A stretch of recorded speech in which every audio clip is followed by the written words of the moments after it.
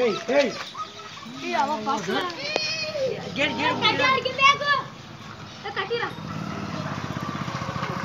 ఏయ్ ఏయ్